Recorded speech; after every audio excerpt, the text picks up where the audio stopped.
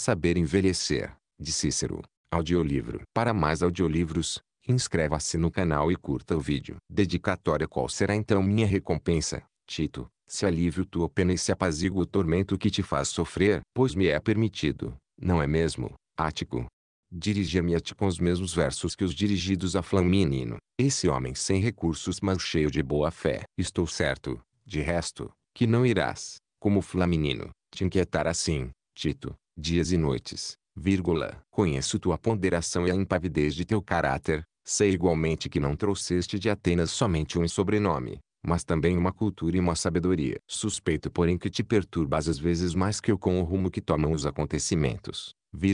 Consolar-te seria um empreendimento demasiado árduo, deixemo-lo para mais tarde. Em troca, hoje pareceu-me útil escrever-te sobre a velhice. Com efeito, gostaria que fôssemos aliviados, tu e eu, desse fardo que já nos pesa ou, fatalmente, nos pesará. Um fardo que suportas e suportarás, como sabes tudo suportar, com paciência e razão. Mas isso não poderia te impedir de ser objeto da dedicatória desta obra sobre a velhice que eu tinha vontade de escrever. Ela será útil a nós dois. No que me concerne, senti tal prazer em escrevê-la que esqueci os inconvenientes dessa idade. Mas ainda, a velhice afigurou-se-me repentinamente doce e harmoniosa. Jamais os benefícios da filosofia serão suficientemente enaltecidos. Contanto seja praticada, ela permite atravessar sem desagrado todas as épocas da vida. Mas, de tudo isso, falamos com frequência e tornaremos a falar ainda. O livro que te dedico aqui trata da velhice. Atribui as palavras que ele enuncia não a Titono, vírgula, como fez Ariston de seus, pois lhe daria um pouco crédito sobre esse assunto traço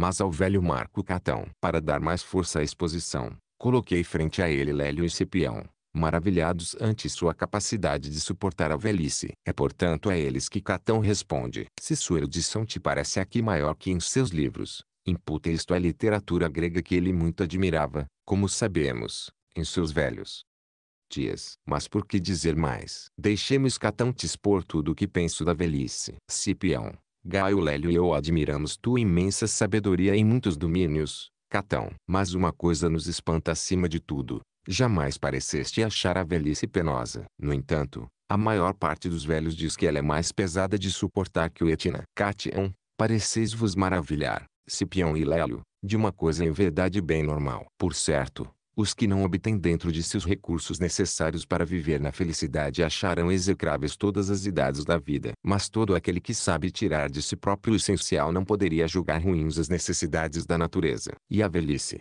seguramente, faz parte delas. Todos os homens desejam alcançá-la, mas, ao ficarem velhos, se lamentam. Eis aí a inconsequência da estupidez. Queixam-se de que ela chegue mais furtivamente do que esperavam. Quem então os forçou a se enganar assim? E por qual prodígio a velhice sucederia mais depressa a adolescência do que esta última sucede à infância? Enfim, por que diabos a velhice seria menos penosa para quem vive 800 anos do que para quem se contenta com 80? Uma vez transcorrido o tempo, por longo que seja, nada mais consolará uma velhice idiota. Vós que costumais admirar minha sabedoria, possa ela ser digna de vossa opinião e de meu nome. Traço. Reparai que somos sábios se seguimos a natureza como um Deus, curvando-nos às suas coerções. Ela é o melhor dos guias. Aliás, não seria verossímil que, tendo disposto tão bem os outros períodos da vida, ela se precipitasse no último ato como faria um poeta sem talento. Simplesmente, era preciso que houvesse um fim, que, à imagem das bagas e dos frutos, a vida, espontaneamente, chegada a sua hora, murchasse e caísse por terra. A tudo isso o sábio deve consentir pacificamente. Pretender resistir à natureza não teria mais sentido do que querer, como os gigantes, guerrear contra os deuses. Lélio, de pleno acordo, Catão. Mas já que esperamos e mesmo queremos nos tornar velhos, ficaríamos felizes, Cipiã e eu, de aprender contigo, e com muito tempo de antecedência, como suportar da melhor maneira os assaltos progressivos da idade. Catião, responderei de bom grado, Lélio, sobretudo se, como dizes, isto vos é agradável. Lélio, sim, nós o desejamos, se isso não te aborrece. Gostaríamos que, após a longa estrada que percorreste e que teremos de percorrer por nossa vez, nos descrevesses o lugar onde chegaste. Catião, farei o melhor possível. Lélio. Com frequência escutei os lamentos das pessoas de minha idade. Cada qual com seu igual, diz um velho provérbio. Assim ouvi Gaio Salinator e Espúrio Albino, dois antigos cônsules de minha geração, queixarem-se amargamente de estarem privados dos prazeres sem os quais, supunham, a vida nada mais vale, ou, ainda, de serem agora negligenciados pelos mesmos que os honravam outrora. Escutando-os, eu tinha a impressão de que se enganavam de culpado. Será de fato a idade que devemos incriminar? Nesse caso, eu também deveria padecer dos mesmos inconvenientes. E, comigo, todas as pessoas idosas. Ora, sei de muitos que vivem sua velhice sem jeremiadas, aceitam alegremente estar liberados da carne e são respeitados pelos que os cercam. É portanto ao caráter de cada um, e não à velhice propriamente, que devemos imputar todas essas lamentações. Os velhos inteligentes, agradáveis e divertidos suportam facilmente a velhice, ao passo que a acrimônia, o temperamento triste e a rabugice são deploráveis em qualquer idade. Lélio, certamente, Catão. Mas poderiam te objetar que teu poder, tua riqueza e teu prestígio tornam tua velhice mais suportável. Não é o caso da maioria. Catião, há verdade no que dizes, Lélio, mas isso não explica tudo. Conta-se que um serifiano habitante da ilha grega de Serifos, querendo discutir com Temístocles, disse-lhe que este devia seu renome menos à sua própria glória que a de sua pátria. Temístocles respondeu, por Hércules. Se eu fosse serifiano e tu ateniense, nem por isso serias mais ilustre. Pode-se raciocinar do mesmo modo a propósito da velhice. Na extrema indigência, mesmo o sábio não poderia considerá-la leve. Quanto ao imbecil, ele a julgará pesada mesmo na riqueza. Para dizer tudo, Cipião e Lélio, as melhores armas para a velhice são o conhecimento e a prática das virtudes. Cultivados em qualquer idade, eles dão frutos soberbos no término de uma existência bem vivida. Eles não somente jamais nos abandonam, mesmo no último momento da vida, o que já é muito importante traço, como também a simples consciência de ter vivido sabiamente, associada à lembrança de seus próprios benefícios, é uma sensação das mais agradáveis. Quando eu era jovem, amei como a um companheiro de minha idade o velho Quinto Máximo, vírgula, o que reconquistou Tarento. Havia nesse homem um ar de gravidade jovial e cortês que não se perdera com os anos. Certamente, no começo de nossa amizade, embora de uma idade respeitável, ele não era ainda muito velho. Seu primeiro consulado datava de um ano após meu nascimento. Jovem recruta, eu o acompanhei diante de Capua durante seu quarto consulado, e depois, Cinco anos mais tarde, diante de Tarento, Questor, exercia esse cargo sob o consulado de Tuditano e Setego, enquanto ele, então muito velho, fazia votar a lei cincia destinada a proibir presentes e gratificações aos advogados. Não obstante sua idade, ele conduzia ainda a guerra como um jovem, mas sabendo temperar o ímpeto juvenil de Aníbal. Nosso amigo Enio exprime tudo isso soberbamente. Um homem, dando tempo ao tempo, soube restabelecer nosso governo. A todos os rumores, preferiu a salvação. E a glória desse herói resplandeceu assim ainda mais. E que controle,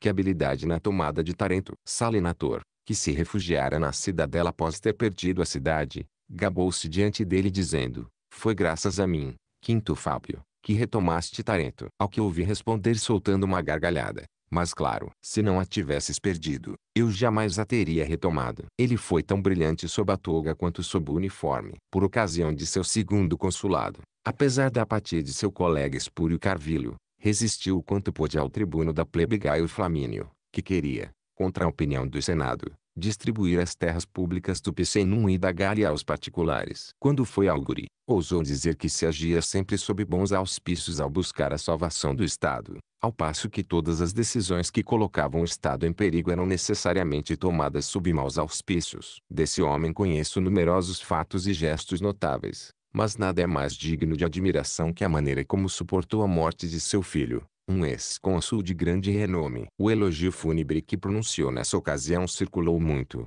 quando lemos, que filósofo encontraria graça aos nossos olhos. Esse homem não era apenas admirável em público, à vista de todos, era mais sublime ainda na vida privada, em sua casa. Que conversação, que julgamento, que conhecimento da antiguidade, que ciência do direito augural. Singularmente culto para um romano, ele conhecia, além da história romana, a do mundo inteiro. De minha parte, saboreava apaixonadamente suas conversas, como se eu pressentisse o que ia acontecer, a saber, que, ele morto, eu não mais teria mestre. Por que ter falado tão longamente de Máximo? Para vos mostrar a que ponto seria um erro julgar infeliz sua velhice. Por certo, nem todo mundo tem a chance de ser um Cipião ou um Máximo, que colecionam as cidades tomadas de assalto, os combates vitoriosos em terra ou no mar, as guerras conduzidas até a vitória. Mas uma vida tranquila, honorável e distinta pode do mesmo modo levar a uma velhice pacífica e suave. Tal foi, dizem, a de Platão, que morreu aos 80 anos em pleno trabalho de escrita, ou ainda de Isócrates, que afirma ter redigido seu livro Panatenaico em seu 94º ano e que viveu,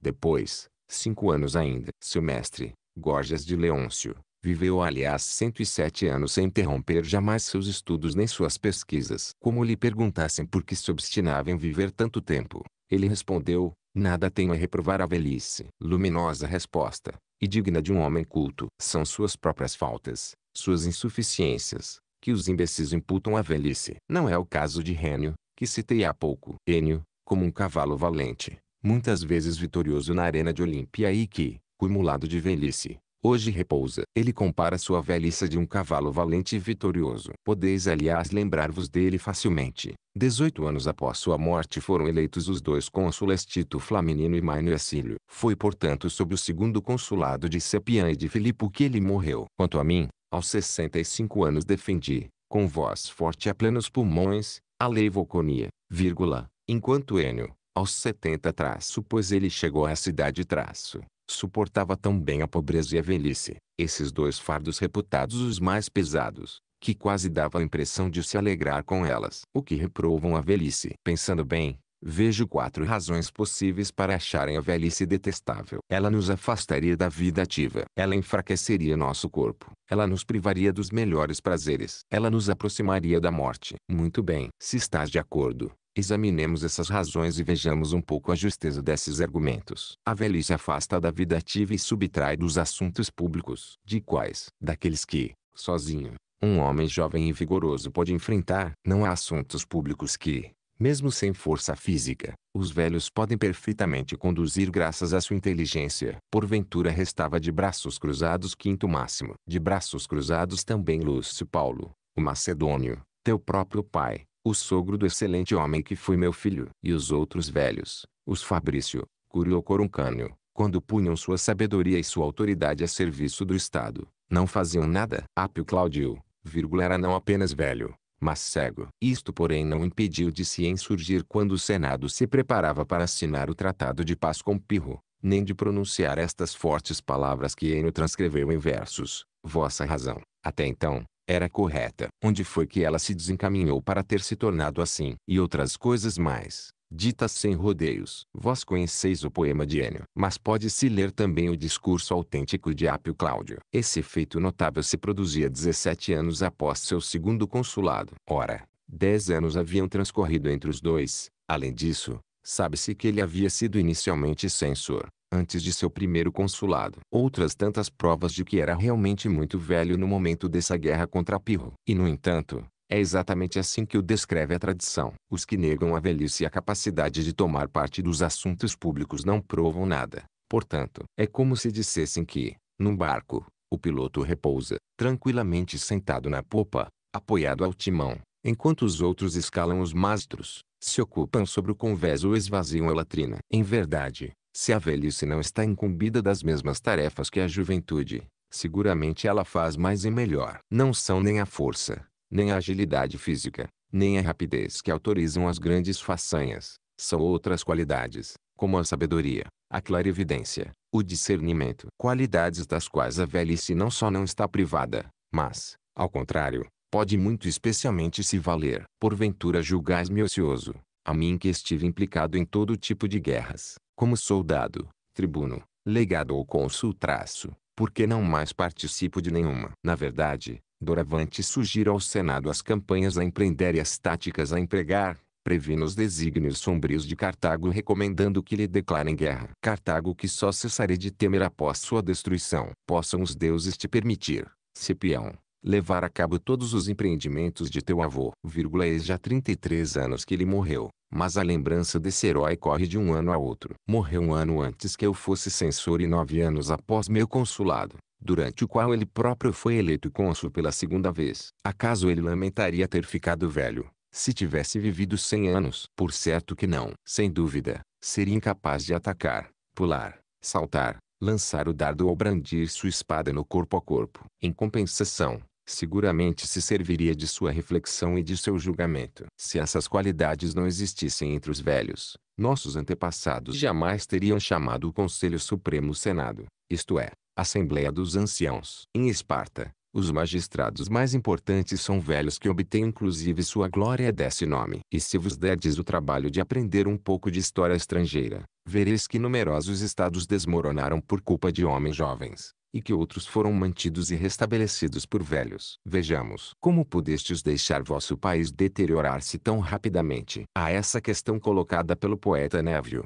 em O Jogo, a primeira das respostas é sempre, sob a influência de novos oradores, de jovens loucos. Sem dúvida alguma, a irreflexão é própria da idade em flor, e a sabedoria, da maturidade. O fio da lembrança certo. Mas com a velhice, dirão, a memória declina. É o que acontece, com efeito, se não a cultivamos ou se carecemos de vivacidade de espírito. Temístocles conhecia de cor o nome de todos os seus concidadãos. Pensais que, ao envelhecer, ele passou a chamar Aristides de Lisímaco. No que me concerne, Conheço bem o nome de meus contemporâneos e também o de seus pais e avós. Ao ler os epitáfios funerários, não temo perder o fio da lembrança, como se diz. Muito pelo contrário, essa leitura me refresca a memória. E, além disso, jamais vi um velho esquecer o lugar onde escondeu seu dinheiro. Os velhos se lembram sempre daquilo que os interessa, promessas sob calção, identidade de seus devedores e credores, etc. E os jurisconsultos, os pontífices, os augures, os filósofos, certamente são idosos, mas que memória. Aliás, os velhos a conservam tanto melhor quanto permanecem intelectualmente ativos. Isso é tão verdadeiro para os homens públicos,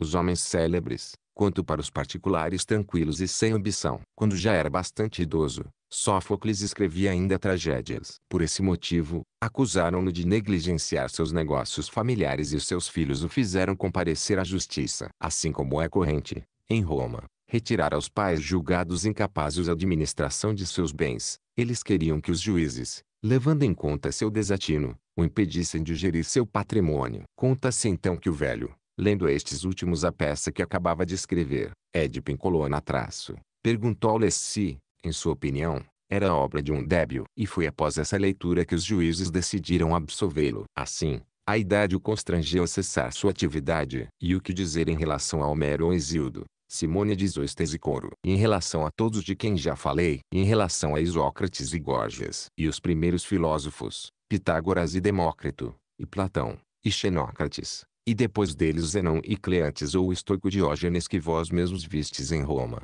Acaso um único deles viu-se reduzido à inatividade pela velhice? Ao contrário, não estudaram e trabalharam até o fim. A lira de Sócrates seja. Ponhamos de lado esses divinos estudos. Eu poderia igualmente vos citar camponeses romanos do país sabino, vizinhos e amigos meus que, por nada deste mundo, quereriam se abster dos principais trabalhos agrícolas, semear, colher ou enceleirar as colheitas. Também entre eles isso não é muito espantoso. Ninguém é bastante velho para não esperar viver um ano mais. E essa esperança precisa de se beneficiar em que eles se entregam a esses trabalhos. Ele planta árvores que crescerão para outros, como diz nosso caro Cecílio Estácio em Os Cenifebos. Não, não há nenhuma hesitação nesse camponês, por mais velho que seja. Se lhe perguntassem para quem semeia, para os deuses imortais que querem que eu, tendo recebido esses bens de meus ancestrais, os transmita a meus descendentes. Cecílio Estácio é muito mais convincente ao fazer falar assim esse velho preocupado com a geração futura, do que quando escreve, por Pólux. Mesmo se não trouxesses nenhuma outra calamidade, velhice, já é muito, quando se vive muito tempo, nos obrigares a sofrer tantos desagrados. É esquecer as satisfações. Aliás, os adolescentes são vítimas dos mesmos desagrados. Mas Cecílio está redondamente enganado quando nos diz, pior, na velhice, é sentir que desagradamos a todo mundo. O certo seria agradar e não desagradar. Se os velhos veem encanto nos adolescentes de boa natureza, se a velhice é aliviada pela deferência da juventude, os adolescentes, por seu lado, apreciam os preceitos dos velhos que sabem lhes dar o gosto das virtudes morais. No que me concerne, tenho a impressão de vos ser tão agradável quanto sois para mim. Assim, percebeis que, longe de ser passiva e inerte, a velhice é sempre atarefada, fervilhante, ocupada em atividades relacionadas com o passado e os gostos de cada um. E certos velhos, em vez de se repetirem, continuam mesmo a estudar coisas novas. Solon,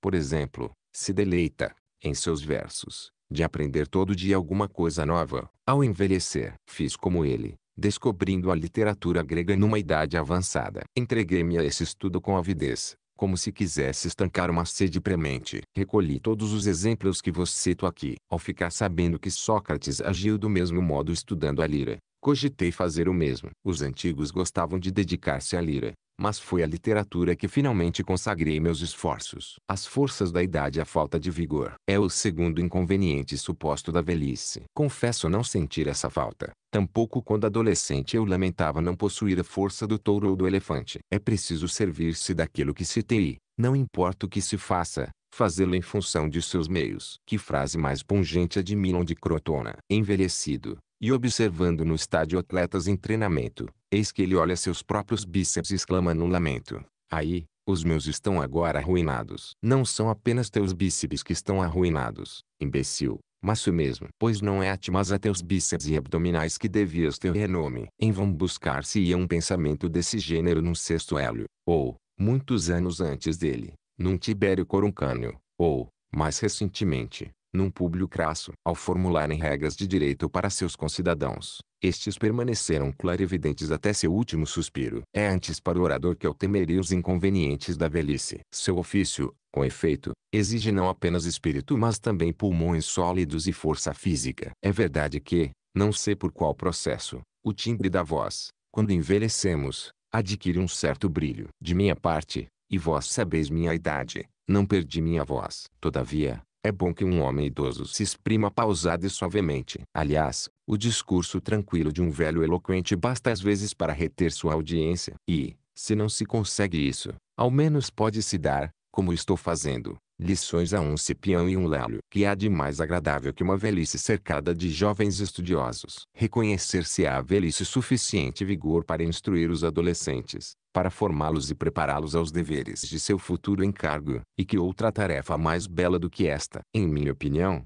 que Neu e Públio Cipião, vírgula, assim como teus dois antepassados Lúcio Emílio Paulo e Cipião, o africano, tinham sorte de estarem cercados de jovens de qualidade. Jamais deveríamos lamentar os que ensinam os bons princípios, mesmo quando suas forças declinam ou enfraquecem. Aliás, esses enfraquecimentos físicos são com frequência mais imputáveis aos excessos da juventude que aos da idade madura. A herança de uma juventude voluptuosa ou libertina é um corpo extenuado. Numa frase que lhe atribui Xenofonte, o velho Ciro, moribundo, assegura que não se sentia, envelhecido, mais fraco que em sua juventude. Lembro-me de ter visto, em criança, o quanto Lúcio Metelo havia conservado forças. Ele que, nomeado grande pontífice após seu segundo consulado, exerceu seu sacerdócio durante 22 anos, com tanto vigor que não tinha a lamentar sua juventude. Enfim, nada direi de mim mesmo, embora essa tentação seja própria dos velhos e em geral a perdoem. Vós observastes que,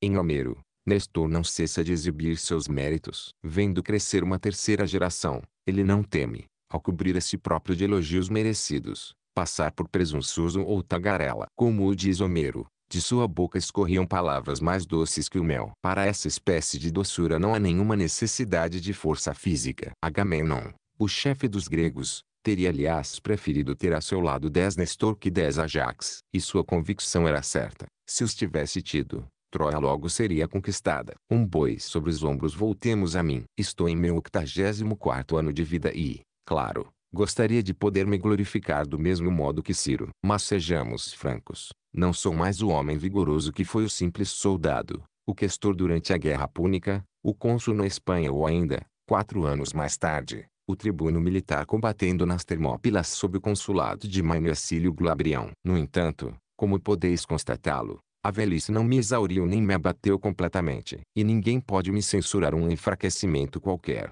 nem a cúria, nem a tribuna dos oradores, nem meus amigos, meus clientes ou meus hóspedes. Com efeito, jamais assumi aquele provérbio muito antigo e famoso que recomenda ser velho cedo se quisermos sê-lo por muito tempo. De minha parte, prefiro ser velho por menos tempo do que sê-lo prematuramente. Por essa razão, jamais recusei uma conversa a ninguém. Ah, evidentemente, tenho menos força que cada um de vós dois. Mas vós também não tendes o vigor do centurião Tito Pôncio. Isso quer dizer que ele vos é superior. O essencial é usar suas forças com parcimônia e adaptar seus esforços a seus próprios meios. Então não sentimos mais frustração nem fraqueza. Conta-se que Milon fez sua entrada no estádio de Olímpia carregando um boi sobre os ombros. O que vale mais? Ter esse vigor físico ou aquele, inteiramente intelectual, de Pitágoras. Em suma, Usemos tal vantagem quando a tivermos e não a lamentemos quando ela desapareceu. Acaso os adolescentes deveriam lamentar a infância e depois, tendo amadurecido, chorar a adolescência? A vida segue um curso muito preciso e a natureza adota cada idade de qualidades próprias. Por isso a fraqueza das crianças, o ímpeto dos jovens, a seriedade dos adultos, a maturidade da velhice são coisas naturais que devemos apreciar cada um em seu tempo. Suponho que sabes, Cipião, o que ainda é capaz de fazer Masinissa, rei da Numídia, vírgula aos 90 anos. Quando ele empreende uma viagem a pé, segue até o fim sem montar a cavalo. Quando é a cavalo que viaja, jamais desce dele. Quer chova ou faça frio, vai com a cabeça descoberta. Seu corpo é seco e vigoroso. Assim ele assume todos os deveres e os encargos de um rei. Isso prova que o exercício físico e a temperança permitem conservar até na velhice um pouco da resistência de outrora. A velhice seria sem forças, mas ninguém exige dela ser forte. As leis e os costumes são feitos de modo a dispensar em nossa idade dos encargos que exigem um mínimo de vigor. Assim jamais nos exigem ir além de nossas forças permitem-nos mesmo permanecer aquém. Objetar-me-ão que muitos velhos são tão fracos que não podem mais sequer assumir qualquer dos encargos ligados a uma função ou simplesmente à vida. Mas esse defeito não é próprio da velhice. É uma questão de saúde. Como era fraco teu pai adotivo, o filho de Cipião, o africano. Que saúde precária ou mesmo nula. Apesar disso, ele foi a segunda chama da cidade ele cuja sólida cultura se somava à grandeza de alma de seu pai. Por que espantar-se de que certos velhos sejam fracos quando os próprios adolescentes nem sempre escapam a essa fatalidade? Compreender bem isto, Lélio e Cipião.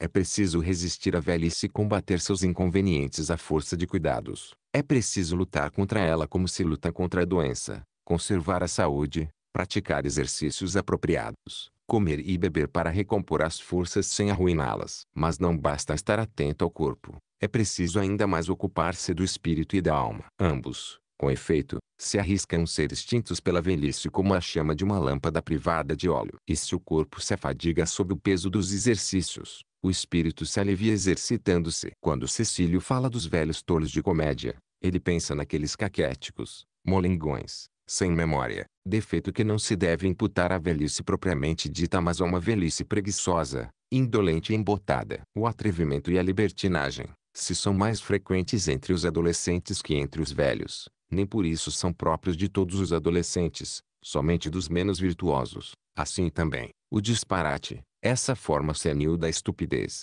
é próprio dos velhos inconsequentes, e somente deles. Ápio, vírgula, ao ficar velho e cego, tinha o encargo de quatro filhos na força da idade, de cinco filhas, de uma grande casa e de uma vasta clientela. Ele conservava o espírito tenso como a corda de um arco e não se abandonava languidamente à velhice. Não apenas preservava intacto seu prestígio como também mantinha sua autoridade sobre os familiares. Seus escravos o temiam, seus filhos o respeitavam, mas todos lhe queriam bem. Em sua casa, tradição e autoridade paterna permaneciam a regra. A velhice só é honrada na medida em que resiste, afirma seu direito, não deixa ninguém roubar-lhe seu poder e conserva sua ascendência sobre os familiares até o último suspiro. Gosto de descobrir o verdor num velho e sinais de velhice num adolescente. Aquele que compreender isso envelhecerá talvez em seu corpo, jamais em seu espírito. Trabalho atualmente no sétimo livro de minhas origens. Reúno todos os testemunhos sobre a antiguidade. Organizo, nesse exato momento, todos os discursos que pronunciei a favor de causas célebres. Ocupo-me do direito augural pontifical e civil. Estudo assiduamente a literatura grega e, para exercitar minha memória, aplico o método caro aos pitagóricos. Toda noite, procuro lembrar-me de tudo o que fiz, disse ouvi na jornada. Eis como mantenho meu espírito, eis a ginástica que submeto minha inteligência. Suando e me esfalfando dessa maneira, não me ocorreria pensar em me lamentar sobre o declínio de minhas forças físicas. Meus amigos podem sempre contar comigo. Vou ao Senado regularmente sem que me forcem. Faço ali proposições maduramente refletidas e as defendo com todas as minhas forças intelectuais, não físicas. E se eu não fosse mais capaz de fazer isso, Restar-me o lazer de distrair-me em meu divã pensando em tudo que doravante me interdito. Graças ao que foi minha vida, não cheguei a esse ponto. Permaneço ativo, dedicando nossa vida ao estudo, empenhando-nos em trabalhar sem descanso. Não sentimos a aproximação subreptícia da velhice. Envelhecemos insensivelmente, sem ter consciência disso, e, em vez de sermos brutalmente atacados pela idade, é aos poucos que nos extinguimos. Do bom uso da volúpia chegamos agora ao terceiro agravo feito com frequência à velhice. Ela seria privada de prazeres. Mas que maravilhosa dádiva nos proporciona a idade se ela nos poupa do que a adolescência tem de pior. Escutai, excelentes jovens, o que dizia outrora Arquitas de Tarento, homem de primeiro plano cujas palavras me foram ditas, em minha juventude, quando eu estava em Tarento com quinto máximo, vírgula. Não há pior calamidade para um homem que o prazer do sexo, dizia ele. Não há flagelo mais funesto que essa dádiva da natureza. A busca desenfreada da volúpia é uma paixão possessiva, sem controle. Ela é a causa da maior parte das traições em relação à pátria, da queda dos estados, das conivências funestas como o inimigo. Não há um crime, uma prevaricação que a concupiscência não possa inspirar. É por causa dela que se cometem violações, adultérios e outras torpezas. Se a inteligência constitui a mais bela dádiva feita ao homem pela natureza, ou pelos deuses traço, o instinto sexual é seu pior inimigo. Onde reina a devassidão, obviamente não há lugar para a temperança. Lá onde o prazer triunfa, a virtude não poderia sobreviver. Para fazer compreender isso melhor, Arquitas sugeria que se imaginasse um homem no auge da excitação voluptuosa. Nesse estado de extremo gozo, como poderia formular o menor pensamento? refletir ou meditar legitimamente. Assim, nada é mais detestável que o prazer. Quando ele é intenso e perdura, é capaz de obscurecer totalmente o espírito. Tais foram as palavras pronunciadas por Arquitas durante uma conversação com Samnita Gaio Pôncio, cujo filho triunfou dos cônsules Espúrio Postumo e Tito Vetúrio em Caldinium. Meu anfitrião, Nearco de Tarento, sempre devotado a Roma, dizia-me tê-las ouvido de seus pais e seus avós. O próprio Platão de Atenas teria assistido a essa conversação descobri que ele se encontrava de fato em Tarento durante o consulado de Lúcio Camilo de Apio Cláudio. Por que contei tudo isso? Para vos fazer compreender que,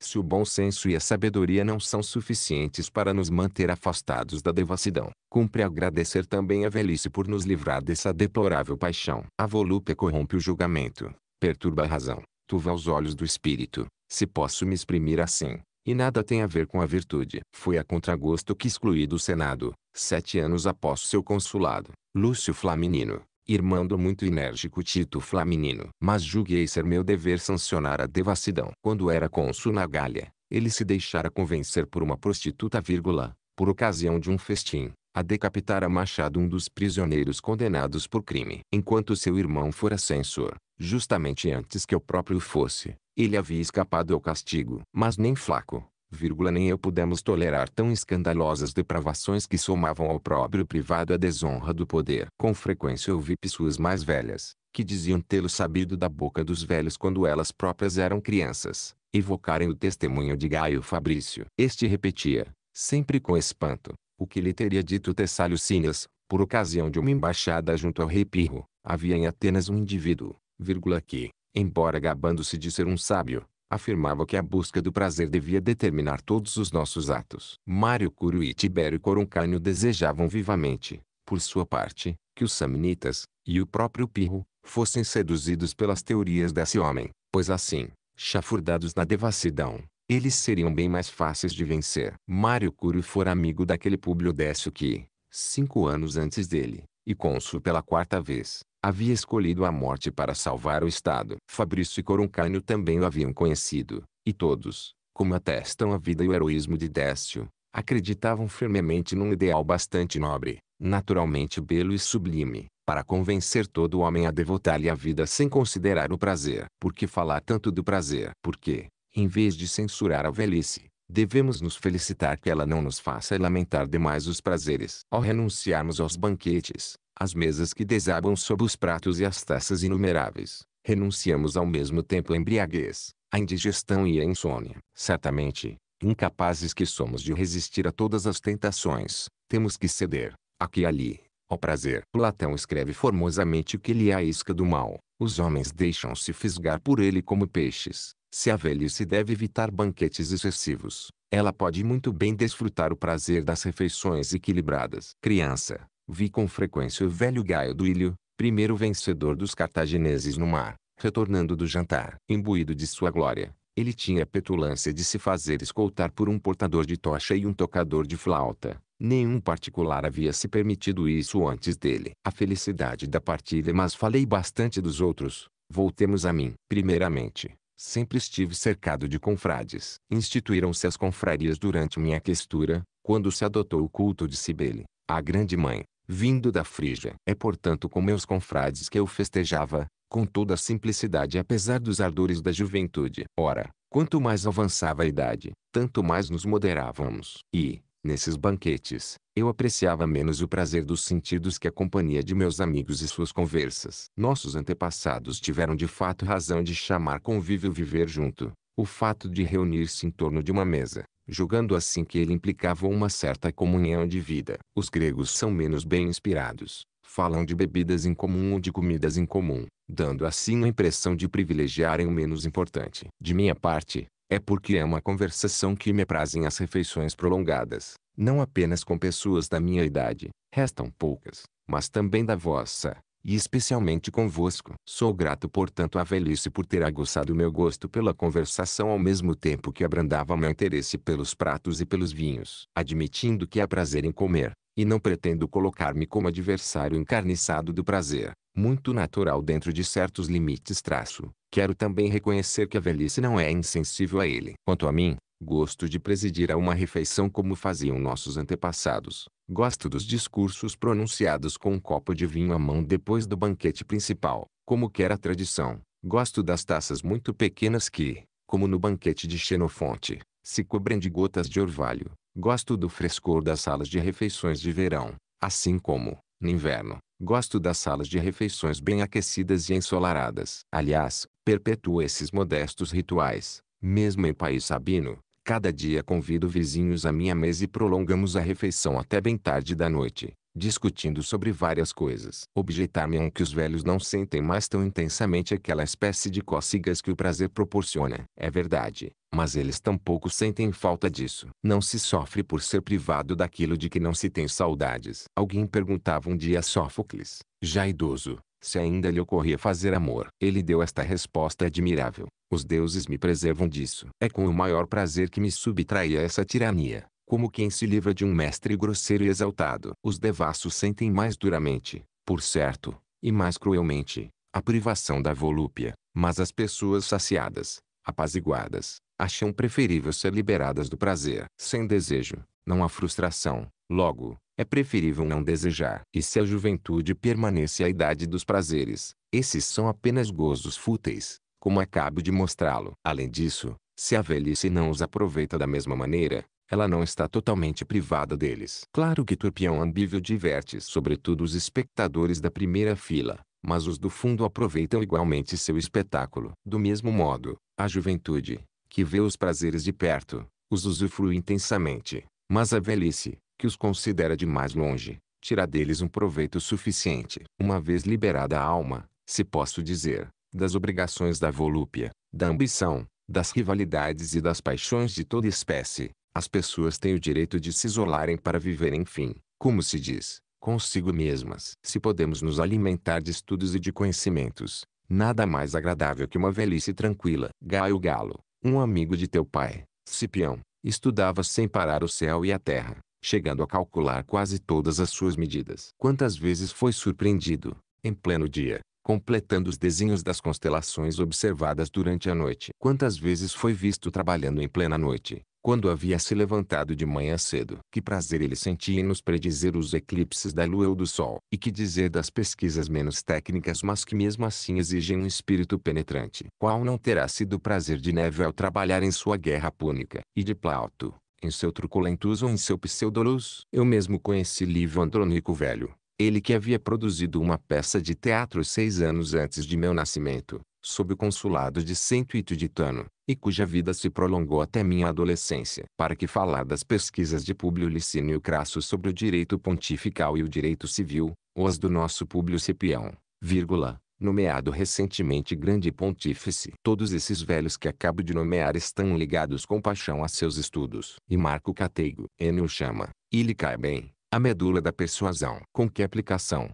Mesmo velho, ele se exercitava na eloquência. Os prazeres da mesa, do jogo ou das prostitutas seriam capazes de rivalizar com essas felicidades. O saber se vale das competências acumuladas e se enriquece à medida que envelhecemos. Assim, é digno de seu autor aquele verso de Solon em que ele afirma que aproveita cada dia de sua velhice para adquirir novos conhecimentos. Sim, nenhum prazer é superior ao do espírito. A velhice nos campos chegou agora às alegrias da agricultura. Para mim, seu encanto é incomparável. De modo nenhum elas são incompatíveis com a velhice e me parecem convir muito bem a uma vida de sábio. Os agricultores têm uma espécie de crédito na terra. Esta jamais se recusa ao trabalho deles e sempre restitui o que recebeu com juros às vezes modestos, mas geralmente consideráveis. Aliás, não é apenas o que o solo produz que me agrada, é também a potência generosa da própria terra. Quando suas profundezas revolvidas e trabalhadas recebem o grão semeado, elas primeiro o retêm protegido da luz, donde o nome ocátio dado ao esterroamento traço,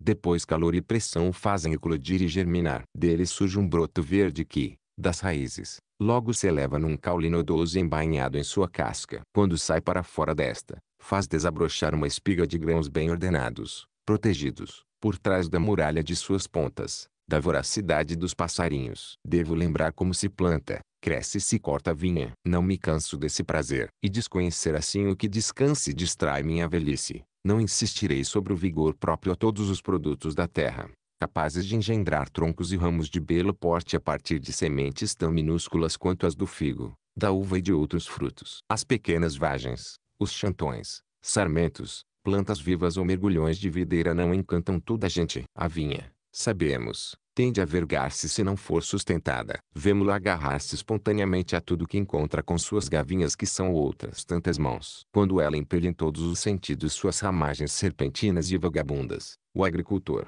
armado de uma lâmina, vem cortá-la distradamente para impedi-la de produzir uma floresta de sarmentos anárquica e desmesurada. Na primavera, sobre os nós dos sarmentos, surgem excrescências que chamamos botões e dos quais nascerá o cacho de uvas. Este logo aumenta de tamanho graças à seiva que tira do solo e ao calor do sol. No início, seu gosto é muito ácido, mas aos poucos se torna açucarado. As parras que o protegem detêm os raios mais penetrantes do sol, sem todavia privá-lo de um calor benfazejo. Pode-se imaginar algo mais proveitoso e mais belo que esse cacho de uvas. Como já vos disse, não é o caráter rentável da vinha que mais me seduz, é todo o resto a maneira de cultivá-la, a natureza mesmo da planta, as fileiras de chantões, a reunião dos sarmentos, a ligadura e a mergulhia, a poda de alguns sarmentos que favorece o desenvolvimento dos outros. Devo ainda mencionar a irrigação, a cava, a sachadura que revolvem e fertilizam a terra. Direi a utilidade da adubação. Tratei de todas essas questões em meu livro sobre os trabalhos dos campos. Exildo, por mais instruído que fosse, não diz uma palavra a respeito em sua obra sobre a agricultura. Homero, em troca, vários séculos antes, nos mostra Laertes cultivando e adubando seu campo para se consolar da ausência de seu filho. O encanto da agricultura não se resume aliás às colheitas, campinas, vinhedos e arbustos. É preciso também contar com as hortas e os vergéis, o gado no pasto, as colmeias de abelhas e as flores inumeráveis. Enfim, somando-se ao prazer de plantar, ao de enxertar, a mais engenhosa descoberta da agricultura. Eu poderia enumerar muitos outros prazeres campestres, mas percebo que já falei demais. Perdoai-me. A velhice é tagarela, convém confessá-lo para não dar a impressão de sempre absolvê-la, e deixei-me arrastar por meu amor pelos campos. Eis a vida que Manicúrio escolheu para terminar seus dias após triunfar dos Samnitas, dos Sabinos e de Pirro. Quando contemplo sua casa, não distante da minha, só posso admirar, e, mesmo assim, insuficientemente, sua modéstia e a virtude de sua época. Ele se achava sentado junto à lareira quando os samnitas vieram propor-lhe uma grande quantidade de ouro. Ele o repeliu sem hesitar, dizendo que a riqueza preferia autoridade sobre os ricos. Como tal grandeza de alma não tornaria agradável a velhice. Mas voltemos aos camponeses para melhor falar de mim mesmo. Naquela época, os senadores, isto é, os velhos, viviam nos campos, Lúcio Quíncio Cincinnato estava lavrando a terra quando vieram-lhe anunciar que fora nomeado ditador. E foi por ordem sua que Gaio Servilho a ala, vírgula, chefe dos cavaleiros, deu morte a Espúrio Mélio, que queria tomar o poder. É em suas quintas que vinham buscar Curo e os outros senadores para que fossem ao Senado, donde o nome de Correios dado aos que os convocavam. Dirão que era lamentável a velhice dos que encontravam assim um passatempo na agricultura. De minha parte, duvido que possa haver uma outra mais feliz. Não apenas se útil, a agricultura beneficiando a todos, mas dela se tira igualmente todo o prazer que falei. Usufrui-se assim em abundância de tudo que é necessário à vida na terra e mesmo ao culto dos deuses. E,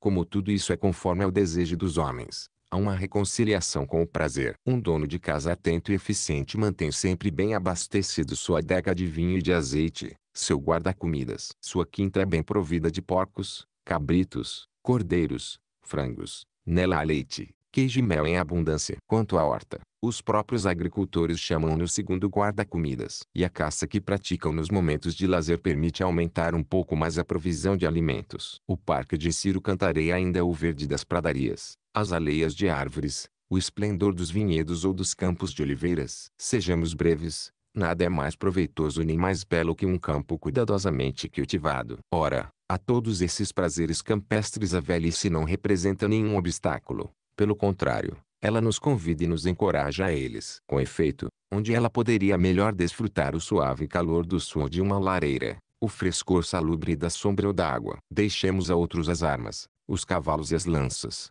a clave e os projéteis. A outros a caça e a corrida. Uma boa velhice pode mesmo abster-se disso sem desprazer. Que nos deixem, a nós, velhos, os jogos de ossinhos e de dados. Os livros de Xenofonte são preciosos sob muitos aspectos. Peço-vos que os leiais atentamente, como aliás o fazeis. Em o econômico, obra dedicada à gestão do patrimônio, vede o elogio que ele faz da agricultura. E, para mostrar que a seus olhos nenhum labor é mais digno de um rei que os trabalhos dos campos, ele relata em seu livro algumas palavras de Sócrates. Numa conversação com Critóbulo, Sócrates evoca o rei da Pérsia, Ciro, o jovem, que se distinguiu por seu gênio e prestígio de seu reinado. Este recebeu em sua casa, em Sardes, o lacedemônio Lisandro, homem irreprochável, que chegou carregado de presentes da parte dos aliados de seu anfitrião. Ciro mostrou-se afável e cortês. Levou a visitar um parque soberbamente conservado. Lisandro extasiava-se diante da altura das árvores plantadas em quincunce,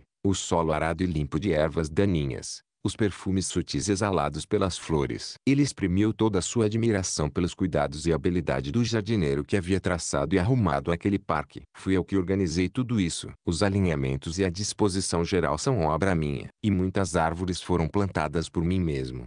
Então Lisandro considerou com atenção aquele rei elegantemente vestido de púrpura, com seus enfeites persas carregados de ouro e pedras preciosas. Depois declarou, há muita razão em te dizer infeliz, Ciro, pois em ti a fortuna se alia a virtude. Os velhos podem gozar dessa mesma fortuna. A idade, mesmo avançada, não impede de praticar a agricultura. Se acreditarmos no que diz a tradição, Marco Valério Corvino, que viveu até 100 anos, havia se retirado no campo e lá cultivava a terra. 46 anos haviam transcorrido entre seu primeiro e seu sexto consulado. Assim o período de sua vida considerada como ativa por nossos antepassados fora não apenas longo mas cumulado de honras. Entretanto, o final de sua vida foi ainda mais feliz, pois ele teve mais autoridade e menos trabalho. Autoridade natural, eis o verdadeiro coroamento da velhice. Que autoridade e que prestígio teve justamente Lúcio Cecílio Metelo e Aulo Atílio Calatino, cujo epitáfio diz, esse homem que todas as famílias reconhecem figurou entre os mais destacados do povo. Conhece-se na íntegra a inscrição gravada em seu túmulo. Seu prestígio não foi usurpado,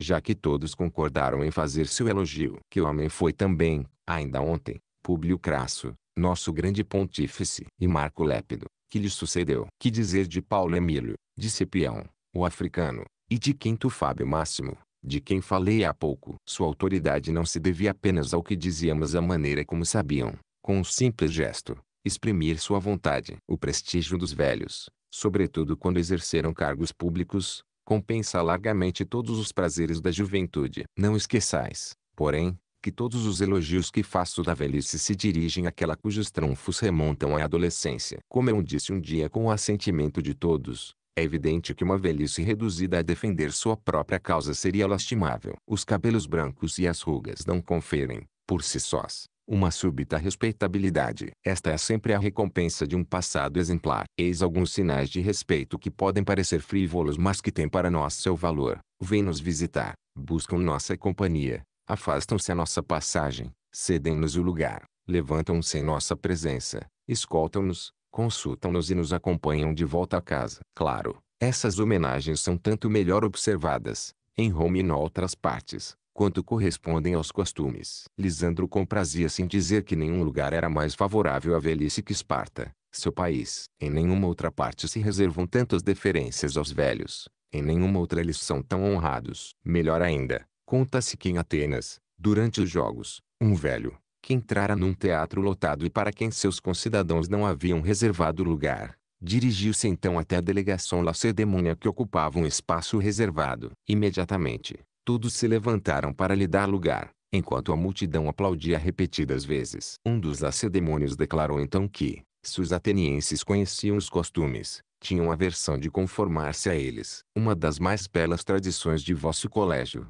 o dos augures, ilustra aliás nosso assunto. Lá se recolhem primeiro as opiniões dos mais idosos antes de consultar os que estão num posto mais elevado mesmo os que detêm o poder verdadeiro. Que prazeres físicos podem se comparar a todas essas satisfações proporcionadas pelo prestígio? Os que deles se beneficiam me parecem de certo modo ter desempenhado a peça até o final, sem titubear no último ato como maus atores. Os rabugentos e os outros ouve-se ainda dizer que os velhos são mal-humorados, atormentados, irascíveis e rabugentos, e mesmo avarentos examinando bem. Mas esses são defeitos inerentes a cada indivíduo, não a velhice. O mau humor e as outras manias que citei são aliás relativamente excusáveis. Injustificadas, por certo, mas compreensíveis. Tais pessoas se julgam desprezadas, depreciadas, caídas no ridículo. Além disso, um corpo debilitado nos torna ainda mais vulneráveis a esses ataques. O que não impede que um caráter sólido e bons hábitos permitam atenuar tais inconvenientes. Na vida ocorre o mesmo que no teatro. Quando pensamos, por exemplo, nos dois irmãos dos Adelfos de Terêncio, que acrimônia na casa de um, que urbanidade na casa do outro. Assim como o vinho, o caráter não azeda necessariamente com a idade. Agrada-me que a velhice seja grave, mas com moderação, como em relação a tudo. Não aceito que ela seja carrancuda. Quanto à avareza dos velhos, eu a compreendo mal. Não é insensato, quando o caminho a percorrer diminui, querer aumentar seu viático. Diante da morte resta a quarta razão de temer a velhice. Aqui desolei a cabrunha particularmente as pessoas de minha idade. A aproximação da morte. Ela é incontestável. Mas como é lastimável o velho que, após ter vivido tanto tempo, não aprendeu a olhar a morte de cima. Cumpriu desprezá-la completamente. Se pensamos que ela ocasione o desaparecimento da alma, ou desejá-la, se ela confere a essa alma sua imortalidade. Não há outra alternativa. Porque eu temeria a morte se, depois dela, não sou mais infeliz. Quem sabe até mais feliz. Aliás, quem pode estar seguro, mesmo jovem, de estar ainda vivo até o anoitecer. Mas ainda, os jovens correm mais o risco de morrer que nós. Adoecem mais facilmente e mais gravemente, são mais difíceis de tratar. Assim, não são muitos a chegar à velhice. Se fosse de outro modo, o mundo viveria melhor e mais razoavelmente, já que a inteligência, o julgamento e a sabedoria são próprios dos velhos, sem os quais jamais teria havido cidades. Mas retorno à morte que nos espreita. Por que fazer disso motivo de queixa a velhice? Se é um risco que a juventude compartilha. De minha parte, foi após o desaparecimento de meu excelente filho que me dei conta de que a morte sobrevém a qualquer idade. E tu, Cipião, foi após a de teus irmãos, prometidos no entanto a um brilhante futuro. Alimentaria o jovem, apesar de tudo, a esperança de viver ainda muito tempo. Enquanto isso é interdito ao velho. Mas vejam, é uma esperança insensata, que pode haver de mais insano que ter por certo que não é por verdadeiro o que é falso. E o velho,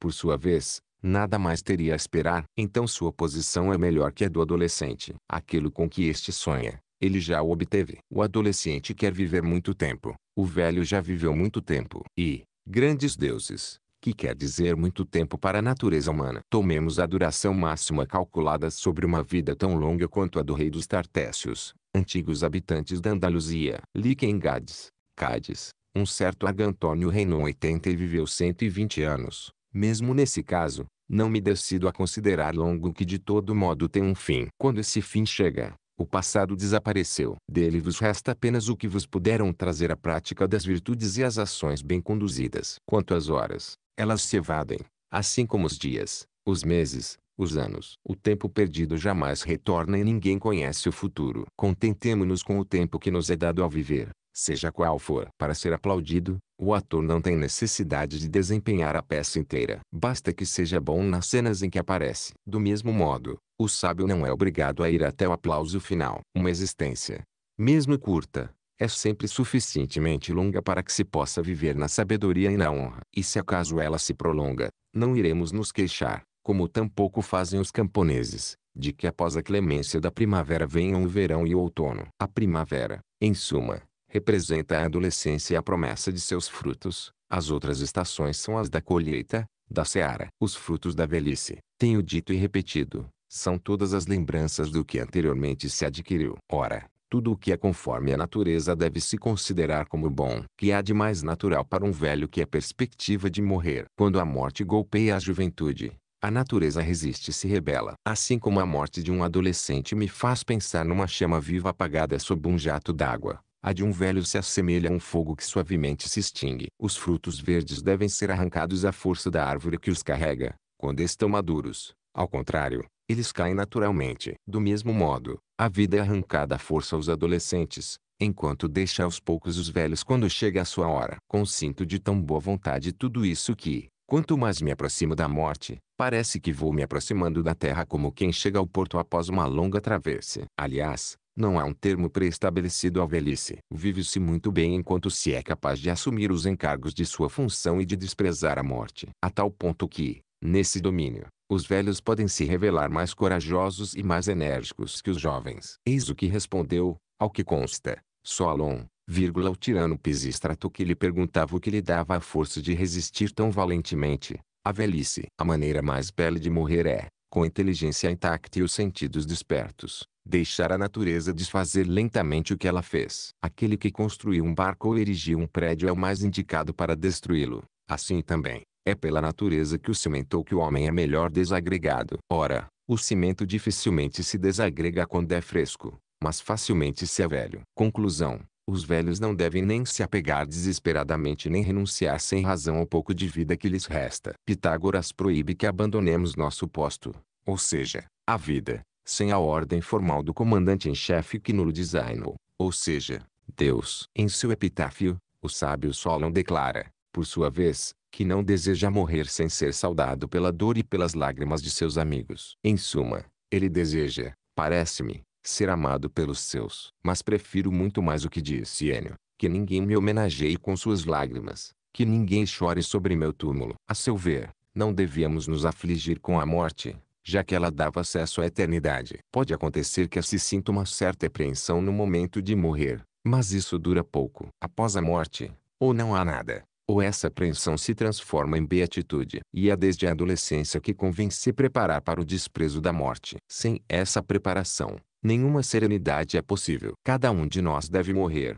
com efeito, hoje mesmo, talvez. Mas com a obsessão da morte que pode sobrevir a qualquer momento, como conservar o espírito calmo? Não creio que seja necessário estender-se sobre esse ponto quando evoco precedentes. Não falemos de Lúcio Bruto, vírgula, que morreu libertando sua pátria, nem dos dois Décio, que lançaram seus cavalos a galope de encontro a uma morte voluntária, nem de Marco Atílio, vírgula, que marchou ao suplício para respeitar sua palavra dada ao inimigo, nem dos dois Cipião que quiseram, com seus corpos, barrar o caminho aos cartagineses, nem de teu avô, Lúcio Paulo, vírgula, que pagou com a vida a imprudência de seu colega por ocasião do desonroso desastre de Cames, nem de Marco Marcelo, vírgula, que o inimigo mais cruel não ousou privar das honras fúnebres. Falemos de nossas legiões que, como relatei em as origens, partiram ao combate alegres e orgulhosas mas sem esperança de retorno. O que jovens ignorantes e até mesmo camponeses desprezam poderia fazer tremer velhos instruídos. Em geral, parece-me, Perdemos o apetite de viver quando nossas paixões são saciadas. Devem os adolescentes lamentar a perda do que adoravam quando crianças. E poderiam os homens maduros ter saudade do que amavam quando adolescentes. Também eles têm seus gostos, que não são os dos velhos. A velhice, enfim, têm suas inclinações próprias. E estas por sua vez se desvanecem como desapareceram as das idades precedentes. Quando esse momento chega, a saciedade que sentimos nos prepara naturalmente para a proximidade da morte. Porque eu hesitaria em vos dizer tudo o que penso da morte. Estou tanto melhor situado para compreendê-la à medida que me aproximo dela. Tenho certeza de que vossos pais, o teu, Cipião, e o teu, Lélio, esses homens admiráveis que foram meus amigos, vivem ainda daquela verdadeira vida que é a única a merecer esse nome. Encerrados que estamos na prisão de nosso corpo, cumprimos de certo modo uma missão necessária, uma tarefa ingrata, pois a alma, de origem celeste, foi precipitada das alturas onde habitava e se encontra como que enterrada na matéria. É um lugar contrário à sua natureza divina e eterna. Creio que os deuses imortais distribuíram as almas em corpos de homens para ajudar estes a imitarem a ordem celeste, escolhendo a firmeza moral e o espírito de moderação. Foi refletindo por mim mesmo, mas também graças à autoridade e à notoriedade dos maiores filósofos, que cheguei a essa convicção. Assim descobri que Pitágoras e os pitagóricos, quase compatriotas, outrora chamados filósofos italiotas, da Itália meridional, jamais duvidaram que nossas almas fossem a emanação do Espírito Divino que anima o universo. Também me foram expostas as teses sobre a imortalidade da alma desenvolvidas por Sócrates no dia mesmo de sua morte, ele que oráculo de Delfos, Apolo, proclamar o mais sábio de todos os homens. O que mais? Quereis saber minha convicção, meu sentimento? A substância que engloba uma viva inteligência, uma vasta memória do passado, uma sólida presciência do futuro, tantos talentos, saber e descobertas, não poderia ser mortal. A alma está sempre em movimento. Este não tem começo. A alma é seu próprio motor, e não terá fim, pois a alma não abandonará a si mesma. Além disso, como a alma é homogênea por natureza e não contém elemento estranho dispar, ela não pode ser fracionada. Ora, sem fracionamento não há morte possível. E ademais temos a prova de que os homens sabem o essencial do que devem saber antes mesmo de nascerem. Confrontadas a estudos difíceis, as crianças rapidamente adquirem tantos conhecimentos que parecem não aprendê-los pela primeira vez, mas lembrar-se deles. É mais ou menos o que disse Platão. Em Xenofonte, Ciro, o Grande, pronuncie estas palavras ao morrer. Meus caríssimos filhos, não creiais, quando eu vos tiver deixado, que não serei mais nada e que desaparecerei. Enquanto eu vivia entre vós, não discernis minha alma mas compreendias, por meus atos e gestos, que ela estava em meu corpo. Estais certos de sua existência, mesmo se nada mais a torna visível. Os grandes homens, após sua morte, não seriam tão duradouramente venerados se não emanasse de sua alma algo que conserva sua lembrança. Jamais pude acreditar que a alma, viva enquanto habitava o corpo, morresse ao deixá-lo, nem que, ao se evadir do corpo de um insensato, ela permanecesse insensata. Creio ao contrário que, desvencilhada de seu invólucro carnal, voltando a ser pura e homogênea, a alma volta a ser sábia. Aliás, quando o corpo se desagrega, após a morte, percebe-se bem de onde vinham e para onde retornam os elementos que o constituíam. Somente a alma, esteja presente ou não, jamais se mostra. Vós constatais, além disso, que nada se assemelha tanto à morte quanto ao sono. E a alma do adormecido manifesta claramente sua natureza divina, em repouso, relaxada. Esta prevê com frequência o futuro. Isso nos dá uma ideia do que ela será no dia em que estiver totalmente livre de sua prisão corporal. Se o que creio é verdadeiro, ele acrescentou, então honrai-me como é um Deus. Se a alma, ao contrário, morre com o corpo, é venerando os deuses, organizadores e guardiães do universo, que cultivareis como bons filhos minha lembrança. Tais foram as palavras pronunciadas por Ciro no momento de sua morte. Mas vejamos, se o preferirdes, o que se passa entre nós. Jamais me farão acreditar, Cipião, que teu pai Lúcio Emílio Paulo, o macedônio, teus dois avós, Paulo Emílio e Cipião, o africano, seu pai e seu tio, e tantos outros heróis que é inútil citar, tenham se dado tanto trabalho para passar à posteridade se nela não acreditassem. Acaso crês, eu me envio flores, é um reflexo de velho, que teria passado meus dias e minhas noites atarefado, em tempo de guerra como em tempo de paz, se julgasse que minha glória se deteria com minha vida. Não teria sido melhor, nesse caso, deixar-me docemente viver, sem esforço nem trabalho? Ignoro a razão, mas minha alma desperta sempre pressagiou um futuro, como se tivesse adivinhado que, uma vez deixada a vida, ela finalmente viveria. Não, se fosse verdade que as almas não são imortais, os grandes homens não desdobrariam tantos esforços para alcançar a glória e a imortalidade. E se o sábio morre com tanta serenidade enquanto um imbecil morre com tão grande pavor, não será porque a alma do primeiro, lúcido e clarividente, percebe que voa assim em direção ao melhor, enquanto a do segundo, obtusa, é incapaz disso. No que me concerne, grande é minha impaciência de reencontrar vossos pais que estimei e respeitei, de rever todos aqueles que pessoalmente conheci, de conhecer aqueles de quem me falaram, de quem li as façanhas e sobre os quais eu mesmo escrevi. Teriam muita dificuldade, no momento da grande partida, de me reter para me fazer o ferver num caldeirão como Pélias, vírgula. É, mesmo se um Deus me oferecesse generosamente voltar a ser um bebê dando vagidos em seu berço, eu recusaria ser levado de volta ao ponto de partida após ter percorrido, por assim dizer, toda a arena. Que há portanto de positivo na vida? Não oferece ela sobretudo provações. Seguramente, ela comporta muitas vantagens, mas, seja como for, no final restam apenas a saciedade e o término. Não tenho vontade de queixar-me sobre a morte como fizeram com frequência alguns, inclusive entre os sábios. Tampouco vou lamentar ter vivido, posto que,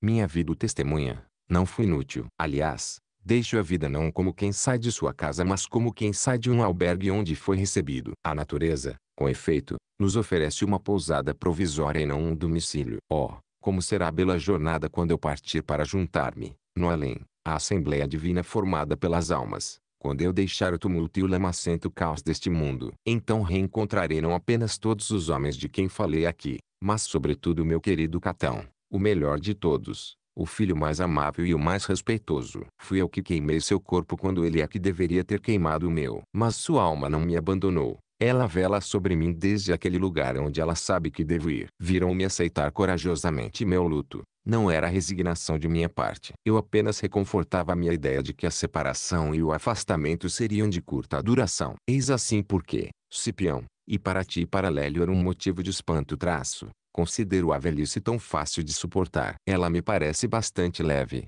até mesmo agradável. E, se me engano sobre a mortalidade da alma, é com muito gosto. Enquanto eu viver, recusarei sempre que me privem desse erro que me é tão doce. Se, como pensam certos pequenos filósofos, não há nada após a morte. Então não preciso temer as zombarias dos filósofos desaparecidos. Se não estamos prometidos à imortalidade, mesmo assim continua sendo desejável extinguir-se no momento oportuno. A natureza fixa os limites convenientes da vida como de qualquer outra coisa. Quanto à velhice, em suma, ela é a cena final dessa peça que constitui a existência. Se estamos fatigados dela, então partamos, sobretudo se estamos saciados. Eis aí tudo o que vos tinha a dizer sobre a velhice. Desejo-vos que alcanceis para verificar, por vós mesmos, a justeza de minhas palavras.